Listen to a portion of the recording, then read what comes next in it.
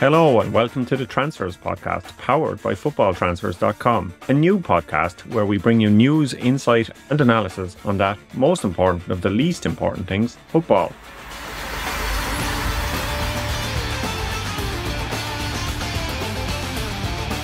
I'm Ronan Murphy. I'm back again. You'll be glad to hear. And I'm joined this week, as always, by Duncan Castles. How are you, Duncan? I'm very good, Ronan. I've been enjoying uh, watching you winding up Pep Guardiola and Neil Lennon, among others, this week on Twitter. Yeah, that's that is my my my goal in life is to wind up as many people as possible, as many football fans as possible, and get accused of supporting rival clubs to every other football club. yeah. You're clearly a Man United fan because you've criticised Liverpool this week, and then next week it'll be you're clearly a Liverpool fan because you've criticised Man United. So if you if you just criticise everybody equally, then I don't think he can be accused of any sort of inherent bias. No, you just get accused of hating football and hating us on a on a regular basis. But these are these are the joys of of uh, of covering football as a profession. We shouldn't complain about stuff like that. We get uh, we get to do lots of fun stuff or, or off the back of it.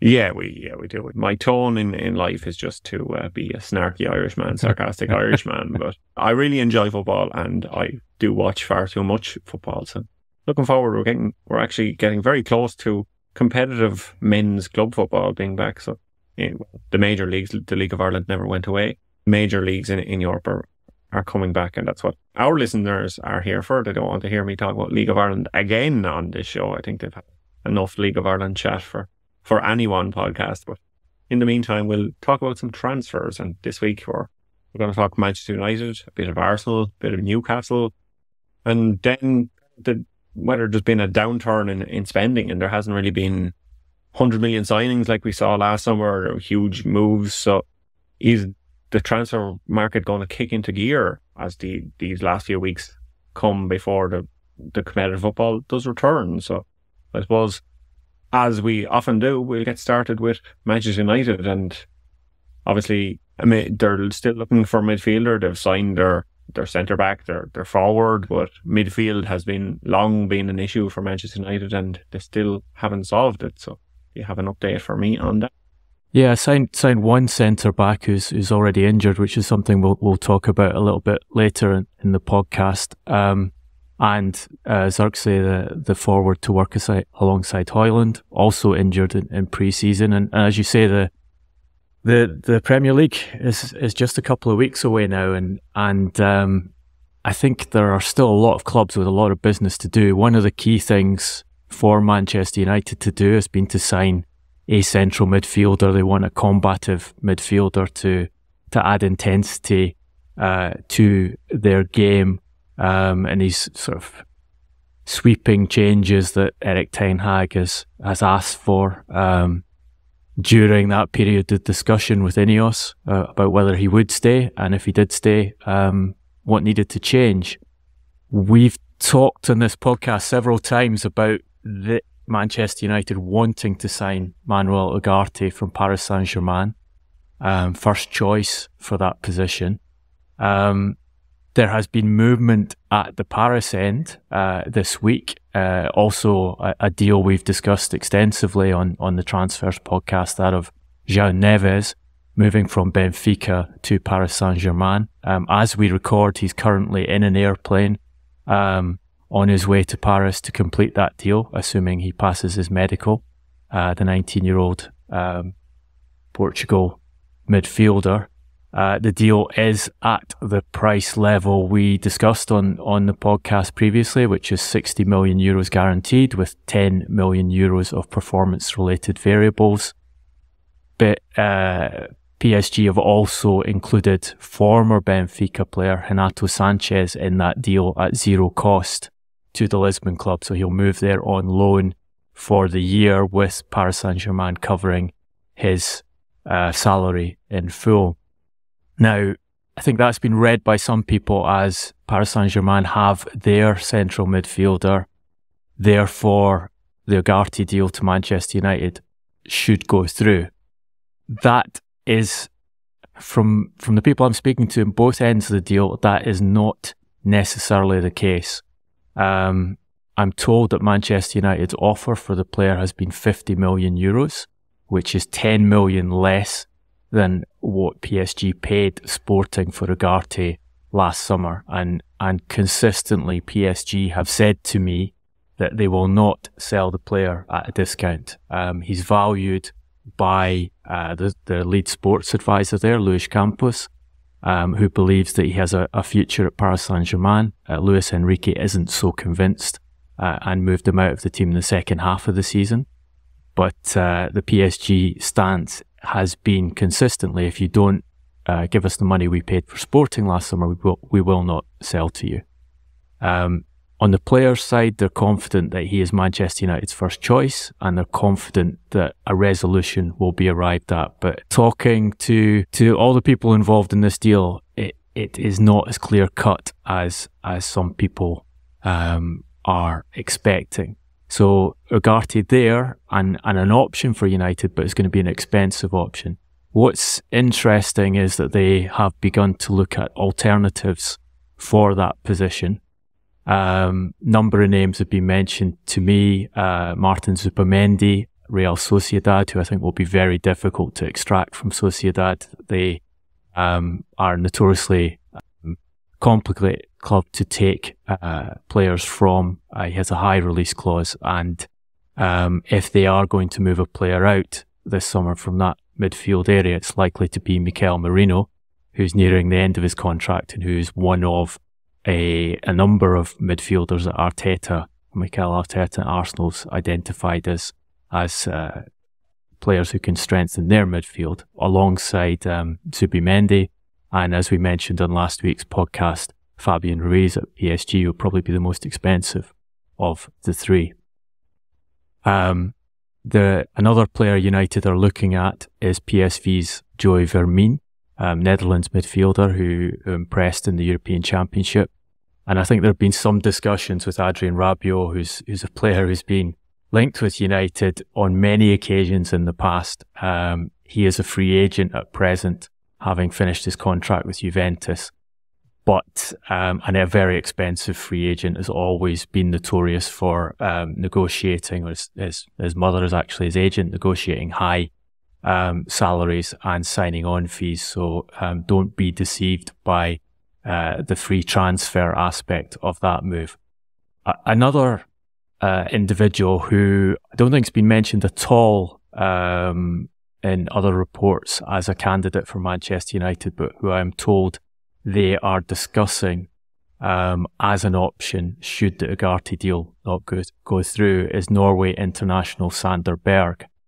Um, he's 26 years of age. He will uh, almost certainly leave Burnley this summer, having only joined them last year um, when they were promoted to the Premier League. He does not want to play in the Championship again, having first come to the Premier League in January 2020. He joined Sheffield United it's an interesting option. Uh, I think a different style to Ugarte, certainly a taller player, um, probably a more elegant player in the midfield, but uh, very good at retaining possession, distributing possession. Obviously has the Premier League experience, 66 games in the, the top tier, three goals, four assists, and would definitely be cheaper than Ugarte. Um, Burnley need to sell players uh, to balance their books, and they're obviously targeting the sale of players like Berge, who um, are unhappy at having to go down to the Championship. There are other clubs interested in Berge, I'm told, including a couple of Champions League um, qualifiers, one in Spain and one in Italy. So um, I think that is a he's an individual to pay attention to. I think a surprise um, option for United, but one that they might go for if they cannot get a re- resolution with PSG on the fee, and who would be a cheaper option and allow them to um, allocate some money to other areas of the team with a centre back, another centre back required, a right back also um, on their target list for this summer.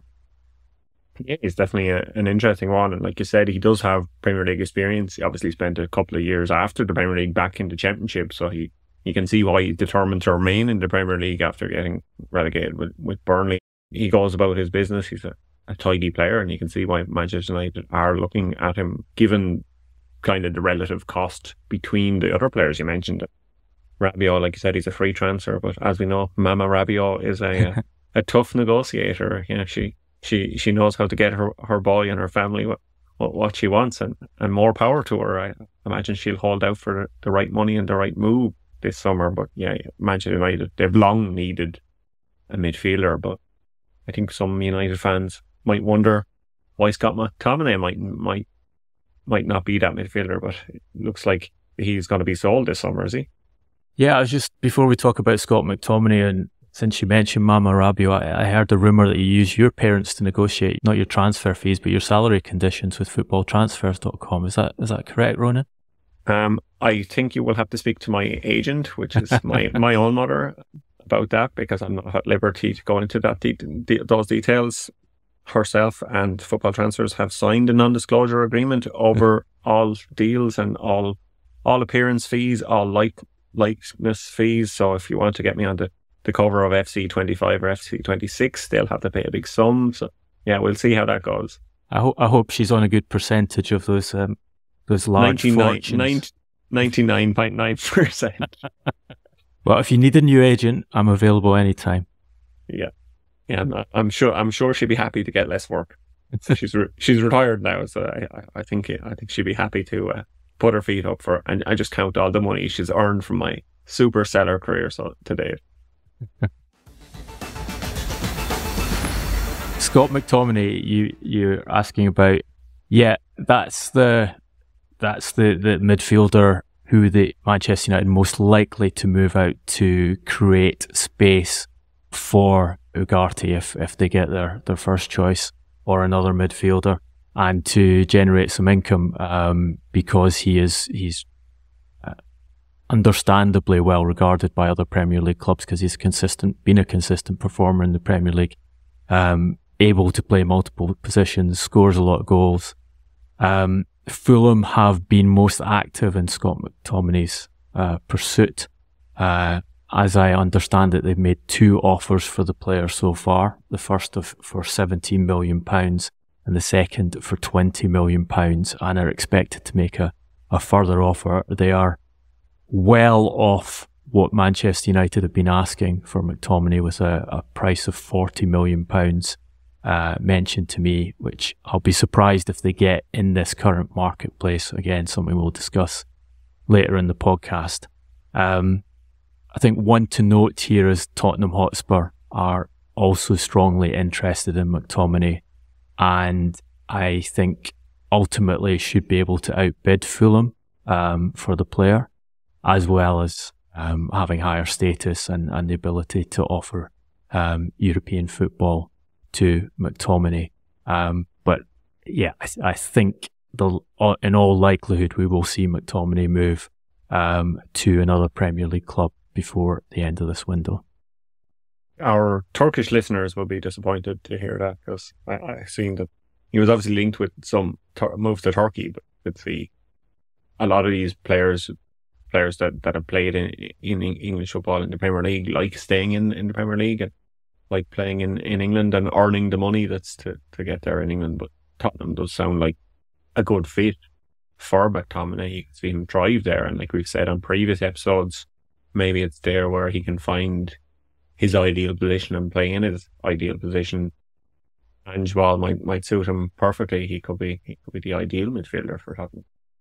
Yeah, I think McTominay will benefit from being a purchase rather than a player who's come through the academy and always had to fight for his position in the team. If he's coming in, it'll be and on a substantial fee. It'll become with an an intent of him being a first team player and a coach um, who believes in him. So I, I think uh, that that must be a big attraction to McTominay and a good opportunity for him to develop into you know a guaranteed starter at Premier League club. It's interesting you mentioned Turkey because um, uh, Sander Berge was actually uh, linked with Fenerbahce this week. Um, uh, uh, some suggestion that Burnley were ready to sell him for twenty million pounds, which I, I understand is way below what they're they're looking for the player. Um, but I'm told that Fenerbahce don't have the budget uh, to get into position where they could uh, realistically bid for him. At in in my time um, monitoring the transfer market, I think Turkey is one of the places where you get some of the most random stories uh, coming out, and I, I, think part of that is the, the the politics involved in Turkish football, and there is a there's a real uh, game played by the big clubs in particular there of um, pushing stories out to the supporters that they are pursuing players um, in order to to keep them calm. And uh, anyone who's who's watched football in Turkey knows that keeping Turkish supporters calm isn't the easiest of tasks. Yeah, yeah, a very a very passionate football loving country. An amazing, amazing country yeah. to watch football. Highly recommended to anyone who hasn't done it. Go and see a game at Galatasaray, Fenerbahce, Besiktas. It, it is uh, it's an atmosphere that's different from anything else I've experienced anywhere in the world. Uh, you clearly, I said it earlier, I was going to talk about League of Ireland, but you clearly haven't been to, to Finn Harps on, on a Friday night, uh, the away game on the windy coast of Donegal. The wind's coming in. Yeah, yeah. Ba- Ballybofey is a great place to visit. I haven't. You're right. I haven't been to Finn Harps on a Friday night, but I have been to Peterhead to watch um, watch them play Raith Rovers in a, a Scottish Cup tie, I think and on a on a very very wet, uh, probably a Wednesday night, and I, I, suspect it's probably not too different from yeah. from Finn Harps. Yeah, I think I think that's a level up from they can't do it on a cold Tuesday night in, in Stoke playing Peterhead or in Ballybofey. I think is the next level up. Could Messi do it? Could he do it? Probably not. Probably not. That's why he went. That's why he went to the, the sunny climes of Florida instead. So to get back on track, because I'm very good at getting off track, uh, yeah, obviously you mentioned earlier that Man United have had injuries already, and Ten Hag has been talking about the importance of squad depth. You're talking about them possibly selling Scott McTominay, obviously, and then on top of the Leny Yoro and Rasmus Højlund injuries, we saw Marcus Rashford limp off in, in their friendly in, in America, the, the Snapdragon Cup. I think they they were handed a trophy for after. So Ten Hag started the season off. He said he's there to win trophies, and he's won another one. So yeah, I think it could be it could be a difficult one if Man United keep getting these injuries are piling up. Yeah, you've got um, Leny Yoro, obviously the most expensive signing uh, they've made so far. Um, initial 62 million euros injured in the first half of his first game for the club in, in the preseason loss to Arsenal. Um, and United have announced that they expect him to be out for three months. They're not completely sure of the extent of the injury. Um, it is a fracture of uh, metatarsal, um, a bone that I guess rings horror for, for most Manchester United supporters. Højlund less serious in the sense that they expect that to be a six week injury with a hamstring uh, strain. Uh, Marcus Rashford was a contact injury um, in last night's uh, win over Real Betis.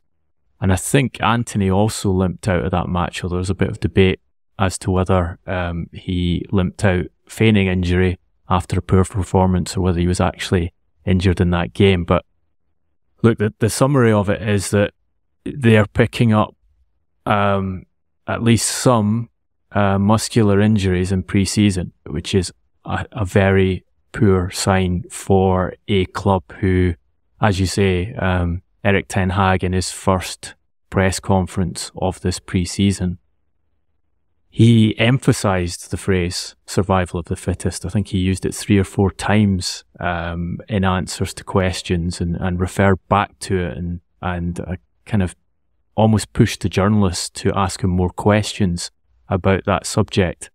And he was he was talking about it in two main ways. One was this emphasis on squad depth um, in the context of having signed two players that he was really pleased with in Leny Yoro and Joshua Zirkzee, um, but emphasizing that he felt they needed more players. He, he, he said that w- when we have everyone fit, we're capable of beating anyone. But as you saw last season, we didn't have enough um, depth in the squad. Um, and we have to have that. We have to have quality. Um, we have to catch up and, and, and then said even more because this will, season will be a survival of the fittest. And he's talking about how football in general is more demanding and that players have to be uh, working on the edge all the time. But noting that this coming season, they're faced with playing at least two additional games in Europe. All, all the teams that have qualified for European competition are faced with at least two additional games because we've got this crazy uh, Swiss model Champions League, uh, Europa League, and Conference League coming in, in which there'll be four additional teams in the, the group stages, which means two more group matches, and then teams play a playoff stage, which adds another potential two games over the already high demands of European competition. Um, he also emphasized player preparation, um, saying that there was a responsibility on the players to to work the correct way. Um, say the, the exact quote: "The players they have to work in the right way because the standards are so high, and if you have to f- fulfill them, it's only possible when you fulfill the highest standards. It's not only on game day; it's on every day." And I think if you you look back at what happened in very high profile incidents with Marcus Rashford, for example, disappearing um, to party in uh, in a part of the world not too far away from you, Ronan. Um, I don't know if you were involved in that. Um, no, I was at Ballybofey watching Finn Harps. uh, probably Ten Hag would have been happier if uh, yeah. Marcus Rashford had been watching Finn Harp instead. Yeah. Um, so, so that emphasis on the players having to uh, look after their body and rest properly um, in order to be in the right position on match day is something he's talking about. He he has said that from a physical perspective, he's pleased they've added a new, added a new uh, head of sports medicine who was actually in place for the majority of last season in Gary O'Driscoll, uh, stolen or taken from Arsenal, and Jordan Rees, head physio, also taken from Arsenal for this coming season. Um, but said that he expects injuries, and they had over 60 injuries last season, to happen again, um, citing uh, multiple reasons the amount of games, the fixture list, load on the players, the pressure on the players being so high. And it, his solution, the one he keeps emphasizing, is squad depth. Um, I think there's a legitimate question about whether Erik Ten Hag has been using the right training methods for Manchester United when you have that many injuries over um, the the past season. Um, and you can go back to some Ten Hag quotes in, in September last year, where he, he talked about having a, a squad uh, sufficient to cope with injuries, which was obviously proved to be incorrect. Um, when you change a number of coaches in the summer, bringing Ruud van Nistelrooy, René Hake as his main assistants. Um, you would expect that in pre-season they wouldn't be suffering injuries so quickly. I'm certainly not suffering muscular injuries in pre-season so quickly. And I think the idea that you just get round this by signing more and more players is a problematic one. I, I think if you talk to top coaches, they will tell you that part of avoiding injuries is the way in which you train the players. Um, and you have to be very careful about how you load them uh, in terms of work in preseason and during the season. And you have to be very careful in assessing um, the the state of their body and the state of their mind during a season. Um, go back in, in this series of the Transfers podcast, one of the, the interviews we did was with Rui Faria, um, ironically also a, a, a, Manchester United coach in the past, assistant to Jose Mourinho. And he talks about the methods he uses and has used very successfully throughout his career um, to avoid injury while having players at the highest competitive level, which has been demonstrated in, in the success he's had over 20 trophies, two Champions League, multiple Premier League, etc. And interestingly, he, on his Insta- Instagram account this week, he talked about the survival of the fittest not long after Ten Hag had, had mentioned the phrase. Um, and I think it's worth, worth Manchester United supporters having a look at. He says, the survival of the fittest or the survival of those who work better Is increasing the size of your squad the secret to Premier League success? Does a team achieve stability of performance by building a 30 man squad? When a club suffers injury after injury, the solution is not squad depth, it is improving the quality of work delivered to the players. And, and I think Rui makes an interesting point there. Yes, you can add lots more players to the squad, which is obviously going to cost a lot of money. Um, and money is a hugely important factor in the Premier League at present um, with the profit and sustainability rules. Can you maintain stability of performance just by building a bigger squad? Because if you have more players and you have to rotate, rotate more, um, then obviously the understanding between the players is going to be compromised. So I don't think this this it's a straightforward answer to just say we've got more games, uh, there's more intense demands on the players. We need to bring more players in, and that that will solve the problems. I think there is, as Faria is suggesting, there's an alternative here, which is to be uh, more efficient uh, and more intelligent in your training ground work he he talks about focusing on recovery being as important as getting the players up to a competitive level of fitness in order to keep your best players on the pitch um, as often as possible.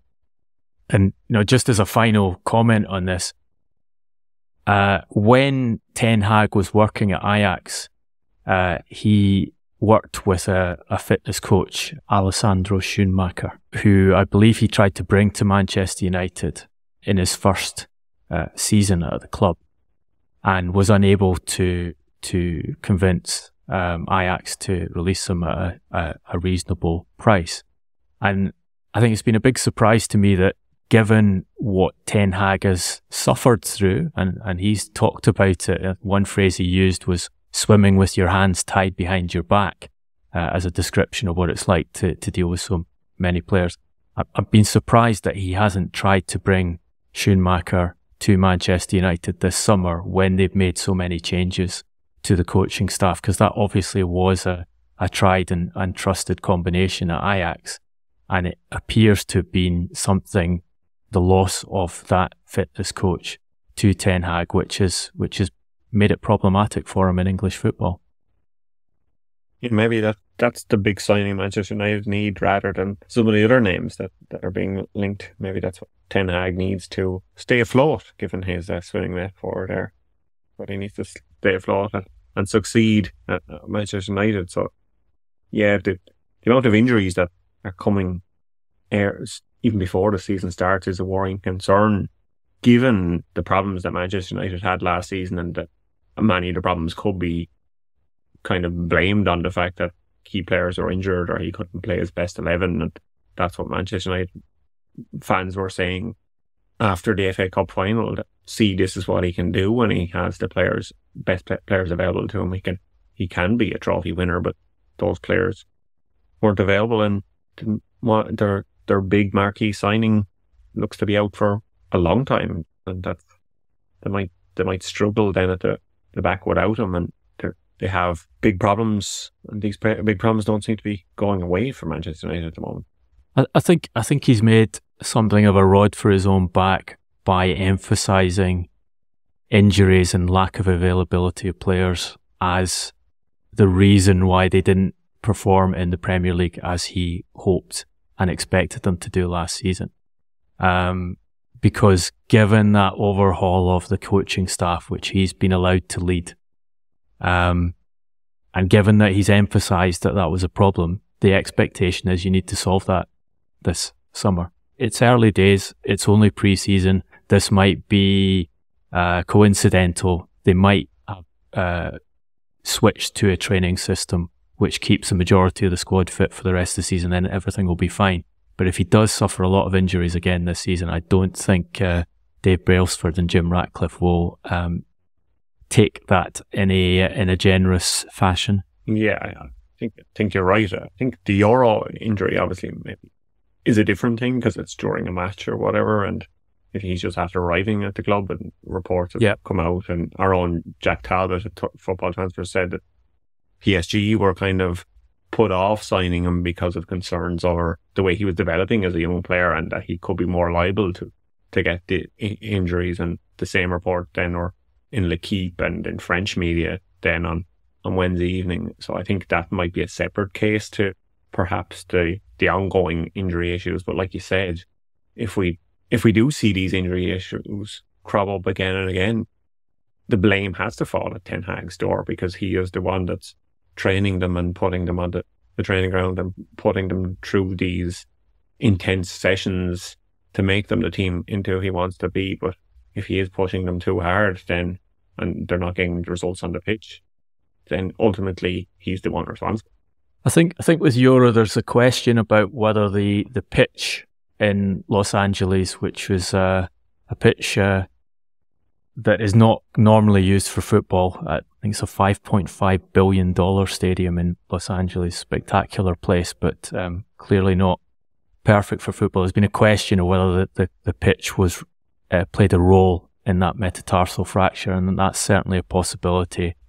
Um, my guidance from PSG and why they didn't uh, follow up on their interest in Yoro was simply that the price was too high. The salary demands uh, were way uh, above what they thought were reasonable um, for uh, an 18 year old who was still on his first uh, professional contract at Lille. And, I, and I believe the, um, the commission on the transfer fee was also high. As we discussed previously on, on that deal, Manchester United clearly bet big on um, knocking everyone else out of the marketplace in terms of a high transfer fee, um, substantial commission, and, and, a very high salary for a young player. Um, probably they've just been unlucky with, with that injury. Um, it's the injuries that they can control that they need to control.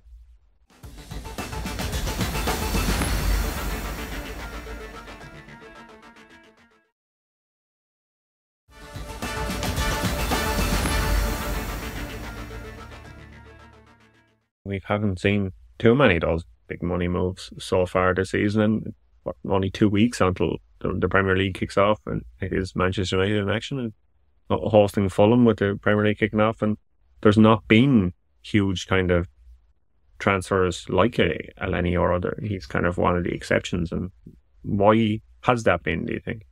Yeah, I, I, I was looking through it this week to get get a sense of where we were. The most expensive deal so far um, is Michael Olise's uh, release clause move from Crystal Palace to Bayern Munich, which exceeds the the 62 million um, initial fee that United paid for Yoro.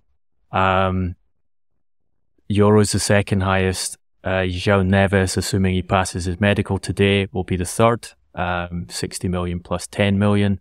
Then you have Al Ittihad making a kind of statement purchase of a 25 year old player rather than a, an older a more established name in Moussa Diaby, um, bought from Aston Villa for £50 million. Amadou Onana, Everton to Aston Villa, also £50 million.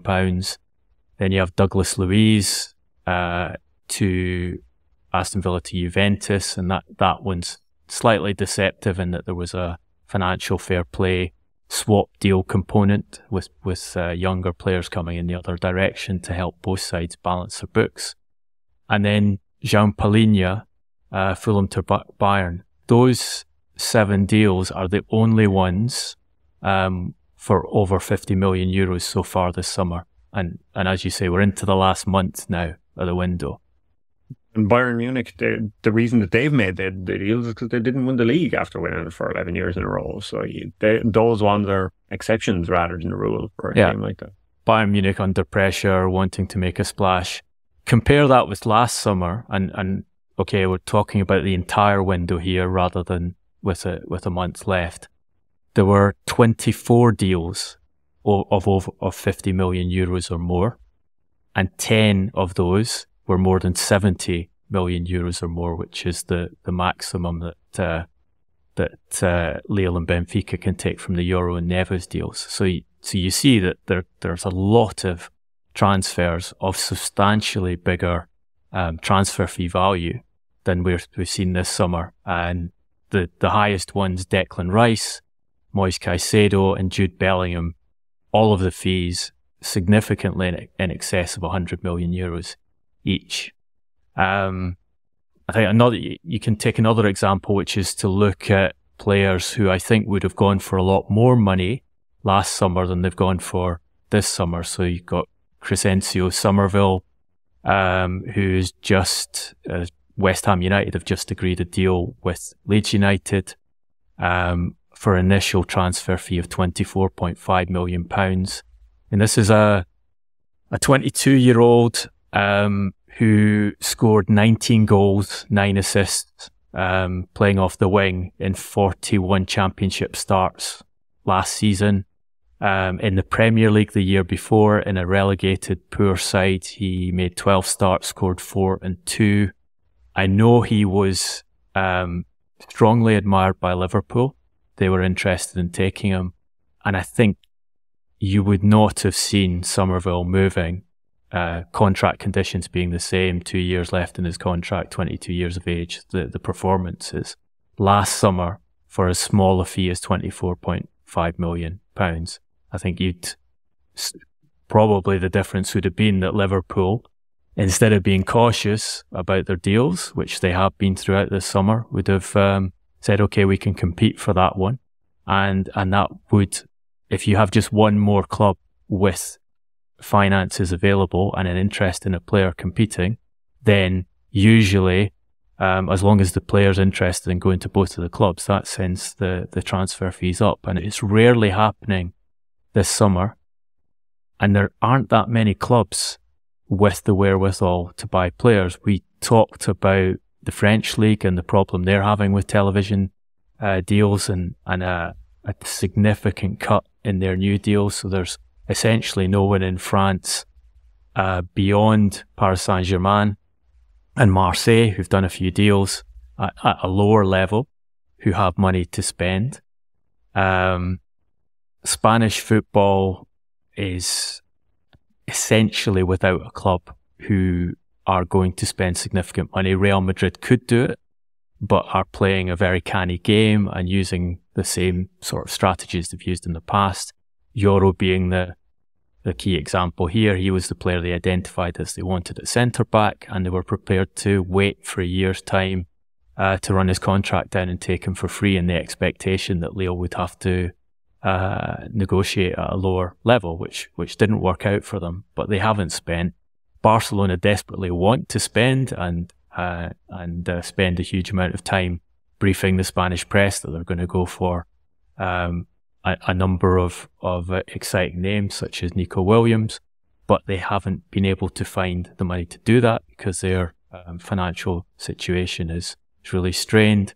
They wanted to sell Ronald Araujo. He got injured in the Copa America. That's been taken away from him. They're currently trying to find a Premier League buyer for Rafinha, who I think Julio Gomez Filho on one of the earlier transfers podcasts suggested he was probably their best forward last season. Um, but they, they want to move him out because they see him as a sellable asset. Uh, he doesn't want to go, and they have a, a, a, significant handicap in that they have him on an annual salary of 13 million euros gross. So not only do they have to find a club who'll give them a substantial transfer fee in the Premier League because they're basically outside Saudi Arabia, the only place with, with money to spend, they also have to find a club who can take on the salaries. And I think that that is a limiting factor here is that a lot of players are already on very high salaries. Then you add in the, the PSR in the Premier League case and financial fair play rules. We've seen Nottingham Forest, we've seen Everton uh, suffer points punishments. Uh, in Everton's case, two of them every Premier League is super conscious that they have to get their budgets in order to pass PSR because they they know and they feel that there's a real risk they'll get hit with a points penalty of their own, which is why we've seen these um, PSR swap deals that um, Newcastle have done with Nottingham Forest, that Aston Villa uh, have done with Chelsea, even though we're past that that first um, PSR deadline of of uh, 30th of June, um, Chelsea are still trying to propose PSR swap deals to clubs, um, offering uh, over the odds transfer fees um, for players that they want to buy. on the condition that the club selling take one of their unwanted players again for what most people would consider to be over the odd uh, over the odd f- fees for the player. So it's an it's an issue because I, there are so few clubs with cash to spend. Last summer we were saved by the Saudi Pro League, um, putting basically a billion dollars of money into transfer fees into various European leagues by buying um, mostly established players, which then trickled through the system. Uh, this summer, that's not really happening. I mentioned the Diaby deal. That's the highest uh, purchase by a Saudi Pro League club. Good example of what they're actually doing versus what they might be doing is Al Ittihad. Um, last week's podcast, we talked about them uh, considering taking Mallorca goalkeeper Predrag Rajkovic um, for a fee of 10 million euros. They've now agreed that deal. And that's instead of uh, signing either Ederson from Manchester City or Jan Oblak from Atletico. Um, my guidance is that Ittihad offered 30 million euros for Ederson Manchester City said, no, we want 50 million euros, uh, knowing that the player was keen to leave and pushing for the deal. And Ittihad said, no, we're not going to pay that much for a goalkeeper. Um, Atletico took the 30 million offer for Oblak, who was interested in going. And then um, my guidance uh, was that uh, when he consulted his his uh, tennis playing girlfriend, Olga Danilovic, about um, the idea of moving together to Jeddah, the deal fell through. Um, so you not only not got the Saudi Pro League moving for those big name players, they're ratcheting back their spending on other players. And again, it might change, and it's been suggested to me that the strategy of the Saudi clubs could be to wait till the European uh, transfer window is closed because their own window remains open until October, and then pick off players from the financially stretched European clubs uh, at the end of the window. So go to the clubs that they know have got FFP problems and say, right, we'll give you X tens of millions for, for one of your players because we know you've got to do a deal. But again, that's not going to inflate the European market and uh, it's going to result in the overall transfer fees remaining uh, down for this window which is good if you are a, a shrewd club that doesn't spend big money. For for for the middling teams, it's probably the, the, the teams in the middle of the pack, I should say, rather than middling teams, because they're all fantastic teams, as you well know. But the teams that maybe are mid-table teams, it probably suits them better that there isn't these crazy money fees between the bigger clubs that they can actually afford to get a Summerville for for 24 million or 22 million rather than what he would have cost last summer, which probably twice that much. So yeah, it's a, it's a different, a different kind of transfer window, but one where bargains and, and good value can still be found and, and probably will be found. It's just, it's just the clubs have to kind of fight for that and it'll be, make it kind of more intriguing as we get to the, the close of the window, what the transfers will be. We won't be seeing these kind of 100 million signings anymore, which might necessarily be a bad thing. So a couple of weeks ago, we were having a chat about Newcastle United, their new direction. Amanda Staveley has gone. She was obviously a key figure in Newcastle's bounce back to, to being a top team in, in England and in Europe again. And she gave a pretty interesting interview and she kind of revealed her some of her plans or hinted at the her plans for the future. And I think you have more details. Yeah, um, it was an interesting interview with the Athletic in that uh, I think you have to read between the lines in what she said. Um, as we detailed on the podcast, the decision for her and her husband Mehrdad Ghodoussi to leave Newcastle United was one that came, was forced upon them. Was taken um, by uh, public investment fund, uh, the, the, Saudi sovereign wealth fund, um, for reasons we, we detailed in that podcast. And at no point does Amanda Staveley actually state that she was moved out, but you can see in many of her comments, for example, the, the headline one, I'm devastated. It's such a wonderful club, so it feels very bittersweet. It's become part of my DNA, something you love so much and don't want to let go. It's very painful. Um, she, she talks about um, having to leave because she wasn't going to have as, as strong an executive role and uh, she's someone who needs to work and she didn't want to be a passenger at the club and didn't want to get in the way of, of the people who'd be taking the decisions. But essentially, uh, there's confirmation there, although Staveley doesn't say it directly herself, that she didn't want to leave. She's also questioned about um, a report that, that Bloomberg issued not long after her exit from Newcastle United that herself and her husband Mehrdad Ghodoussi had raised 500 million pounds um, for their PCP Capital Partners firm uh, in a new fund in order to buy another football club, which uh, they would potentially become the managing partners in. Um, two clubs were mentioned in that report: Tottenham Hotspur and and Monaco.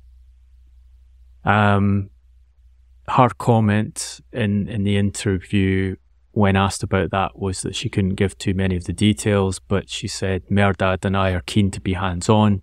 We're hardworking people. I love to be very busy and to engage, and I love football. Very sadly, we have to move on to other projects, and that might involve us taking a stake in another club or buying another club. But and that's difficult, but it's possible. Um, so I've been asking around this, and and guidance I have is indeed the idea that Staveley and her husband have is to raise money in a fund um, in order to purchase probably what will be a Premier League club. Also, I'm told the primary target is Tottenham Hotspur. They see that as the the most attractive of the assets um, for external investors in the Premier League at present, and I think they're they're correct about that. Um, I'm told that they're still in the process of raising funds um, they're hopeful of securing that money um, in the coming months, but it's not actually in, in place yet. And then as to the mechanics of, of a purchase of Tottenham Hotspur, it's obvious that 500 million will not be enough to, to get hold of Tottenham Hotspur. Um, figures that are mentioned at present in, in the press are 3.5 to 3.75 billion as a valuation that Tottenham are looking for the club. What I can tell you is that uh, in early 2022, um, a Los Angeles based um, special acquisition company, a SPAC, tried to buy a minority stake in Tottenham um, at a whole club valuation of three billion pounds. So they they came and met Daniel Levy and said, "We value the club at £3 billion. Um, we'd like to take a, a percentage of that. I think they'd raised two hundred and fifty million dollars um, on the uh, on the US stock market in order to set up the company with the idea of buying into football. And Levy was not at all interested in that. Um, guidance I had from Tottenham at the time was that they wouldn't uh, consider selling a minority stake to a public listed company, which this LAMF Global Ventures was, partly because of the reporting issues involved. Um, and the guidance was that they didn't have an issue with the valuation, so they liked the valuation of three billion. But this was before Clearlake and co-investors um, paid two and a half billion for Chelsea. Obviously, it was long before Ratcliffe and Ineos um, bought just over a quarter of Manchester United at a valuation of six billion dollars. Um, and then you contrast what Tottenham have compared to Manchester United and Chelsea, and one of the biggest things they have is the one billion uh, pound plus stadium is already built and in place and in London, and all the the uh, the planning issues and the financing issues solved. They also have a state of the art training ground. Um, Chelsea have the training ground, um, but they still have this the stadium to to build. Um, and we see Ratcliffe and Co. kind of briefing about uh, a hundred thousand seater stadium to be built um, to replace Old Trafford on the on an adjoining site, and floating a cost of, of 2 billion um, of additional investment um, to uh, to make that happen. So I think if you if you believe the valuations of European football clubs are realistic, and as long as there's one person who's prepared to pay another valuation at the level of Chelsea or Manchester United, then I guess they are. Then Tottenham are are I think at three billion um, probably undervalued uh, because they have the stadium in place, they have very good financial books, um, very low um, wage to, to revenue ratio, ratio. They have the training ground in place. It's kind of a ready made blank canvas. Uh, they haven't even sold the naming rights yet. Um, to have one of the top clubs in the Premier League based in London uh, as a purchase. Whether Staveley will be able to get herself in a position that her investment fund can convince Daniel Levy that she's bringing the right investors on board because she will have to bring another, at least one other investor, possibly another sovereign wealth fund. And to be fair to Amanda Staveley, her, her record is unprecedented in that regard, and that she was the, the person who did the, the deal, put the deal in place for Abu Dhabi to buy Manchester City, and obviously the person who put the deal in place after about five years of work for Saudi Arabia to buy Newcastle United. Um, she has two incredible successes. She had multiple goes at buying Liverpool. In one incident, the money was going to come from Dubai for that. So you can see she has the connections in the Middle East, and, and uh, it wouldn't surprise me if she tried to bring another Middle East investor in to do this. Um, but a fun process of negotiating with Daniel Levy um, she obviously knows him well from Premier League interactions, but uh, I think most people who've, who've, tried to negotiate anything with Daniel Levy will will tell you it is not the most uh, pleasant of experiences, and don't uh, don't guarantee that anything is going to happen until all the documents are signed and the and the long um, bartering processes has has gone through its painful stages. Yeah, so I think, like you said, uh, she's something that she has her desire on it, something that will probably happen, whether it's Tottenham or a different club. I think we'll see Amanda Staveley busy again in the in the football club transfer window, perhaps with the with the with the valuations of this team, these clubs, we need an estimated transfer value for for the club itself and not just the mm-hmm. players that play at the club. The other one we should mention here, because we're talking about club purchases, is um, and and it probably goes into this picture of of players taking a bigger and bigger chunk of uh, football's revenue through their salaries is that Kylian Mbappe has just bought 80% of um, Ligue 2 Caen um, through one of his companies um, for a reported 20 million euros, um, which is, for example, a fraction of his signing on fee at Real Madrid.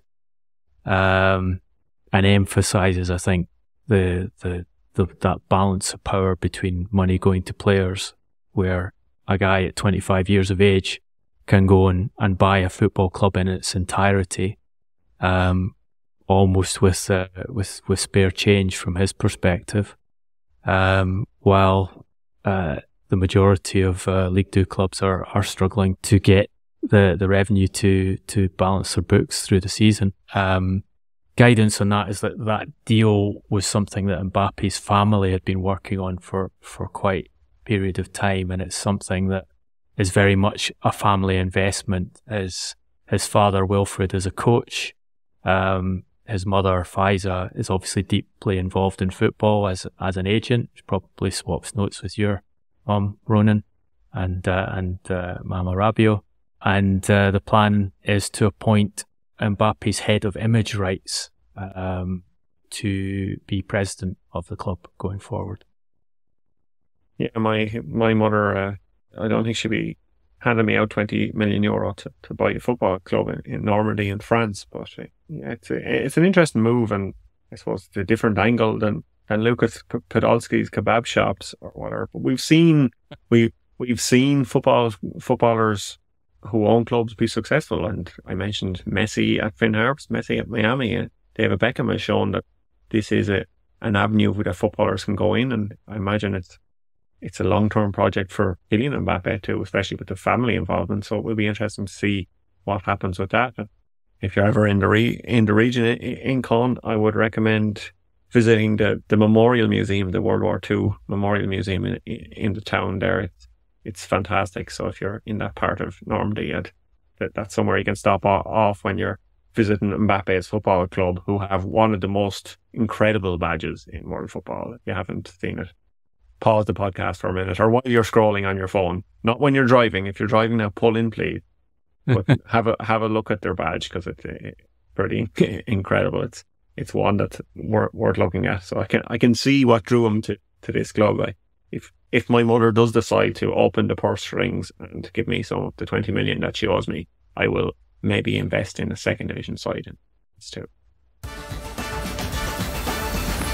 Back on on transfers, um, people have been been listening to us talk about Manchester, but Man United for a while, and, and Newcastle, and even even some clubs in France. But Arsenal fans are probably wondering what's what's going to happen with them. Obviously, you spoke about their desire for a midfielder earlier, but they're still looking for a striker. And the man who you heavily put into the show notes how to pronounce his name, he uh, is one that's linked to Sporting, Sporting CP striker, the the uh, Sporting Club of Portugal striker, Gyökeres. Is that am I got that right?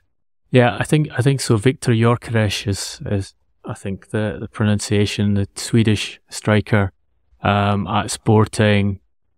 Um, we talked about him with Sergio Crucinas on, on one of our earlier podcasts. The interesting movement on that this week is that Sporting announced that they had um, reduced Coventry's uh, prof- uh, sell-on clause um, on the profit from Gyökeres's next sale from 15% to 10% after paying an additional 2 million euros in performance related bonuses and taking up a 1 million option, 1 million euro option to reduce the sell on clause.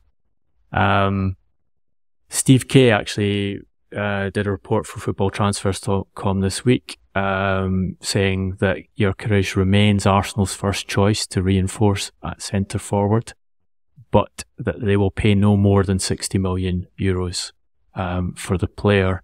Um, Sergio was telling us about how he had had meniscus surgery after the cup final and was expected to be uh, fit again for the start of the season, which he is now uh, returned for pre-season.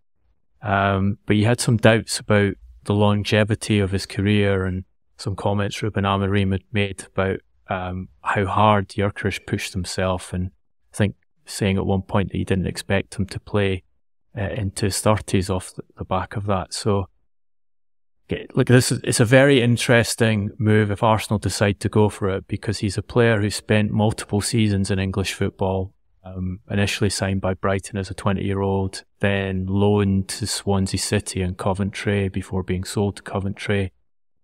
Scored well in his last two seasons in the Championship um, for Coventry, and then exceptionally uh, for Sporting, 34 and 42 League and European games last season, also um, uh, being credited with 11 assists. Sergio's take on Gyökeres was that he's a perfect fit for Portuguese football because of his physicality, and he can almost blow defenders away, take two guys on, and knock them both over before scoring he's a little bit skeptical about whether that translates in into English football um, and into the Premier League, whether that physical advantage is nullified or at least reduced when you put him up against Premier League defences. Be fascinating to see if if they go for it. It wouldn't surprise me if if Sporting uh, accept a, a reduction on the 100 million euros release clause because they, like pretty much every um, Portuguese club, are dependent on sales as we've already discussed in this podcast, the sales aren't happening. You have that João Neves deal. I think if you go back to our earlier podcast, we told you then that Benfica were saying we will not sell the player for less than 100 million. They end up selling him for 60 guaranteed. So there's definitely um, an urgency on the Portuguese side.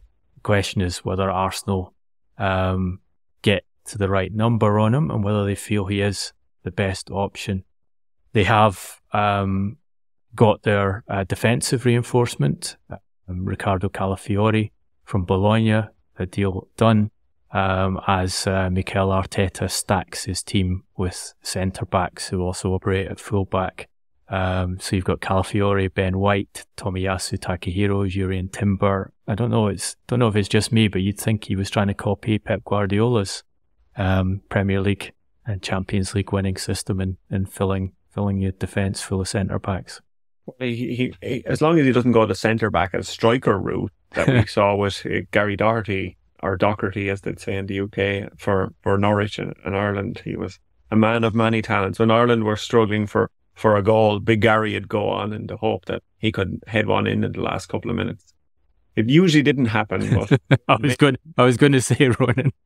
It usually didn't happen, but it was it was an interesting plan B, and I think I think Gyökeres could be a, a plan B or a, a different option than what Arsenal have uh, up front at the moment because he is a very different player than Kai Havertz or Gabriel Jesus. So it will be interesting to see if he does move to Arsenal, how he would fit in because the Arteta trust the process has been kind of building up so far and we kind of know what to expect and their out of possession play is obviously incredible, but how how they adapt to having a totally different sort of forward than what's done before will be interesting to follow because could be could be the thing they need.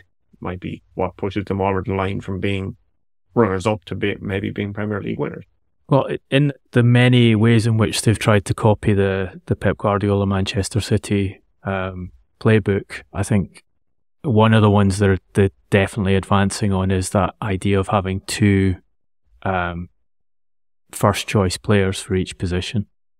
Two players who can interchange um, without having imposing a handicap on the first team. They're not at the level of Manchester City yet, but with those defensive reinforcements, for example, they're they're getting close to it in certain areas of the field, and and yeah, Arteta's talked about having to improve in every dimension, and they they clearly are trying to furnish him with what he's asking for. Um, and yeah, it'll be fascinating to see whether he can push them that extra uh, stage onwards and, and, and end Manchester City's um, almost embarrassing dominance of the Premier League.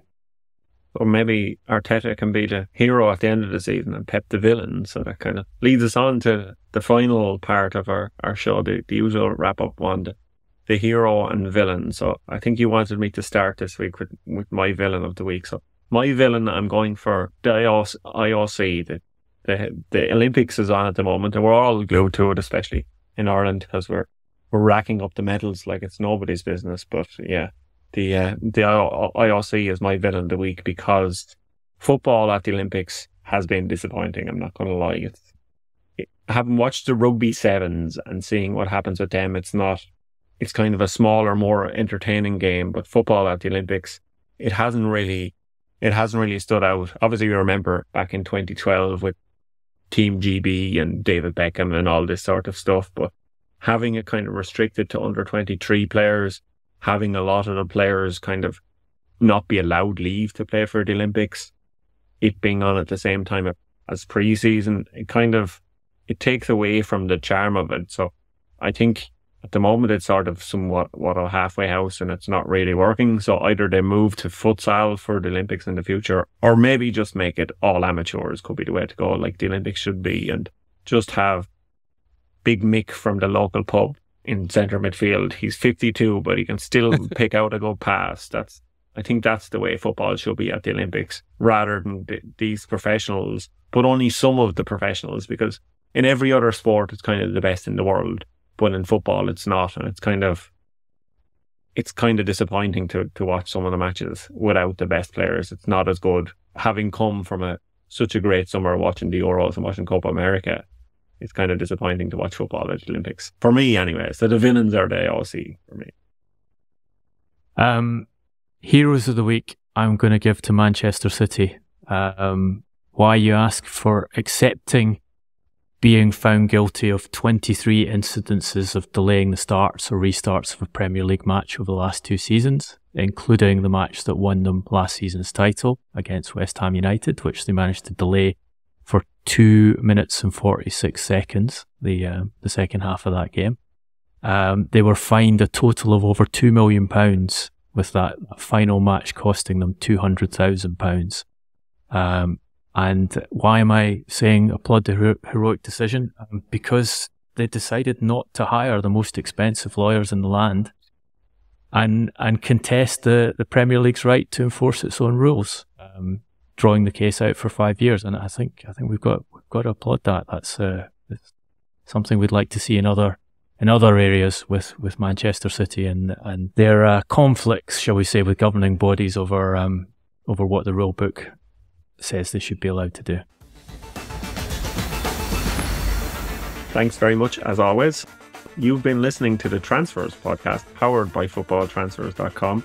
If you liked what you heard, please follow us on your favourite podcast platform and turn on automatic downloads to get the latest episode as soon as it's released. If you really like the Transfers podcast, please lend us just a bit more of your time by rating or reviewing the pod. Your support helps build a bigger audience and bring you more news, analysis, and insight. You can also follow and message us on Facebook, Instagram, and YouTube at Transfers Podcast, and you can follow us on Twitter at TransfersCast. Duncan is on Twitter and Instagram at Duncan Castles. I'm on Twitter. Swear I'm not Paul. We also have a WhatsApp channel. So search for the Transfers Podcast on WhatsApp or follow the links in the show note. Our music and production, as always, is by Mark Caulfield, Pro Podcast Production. We'll be back next week. Stay safe, be well, and thank you for listening.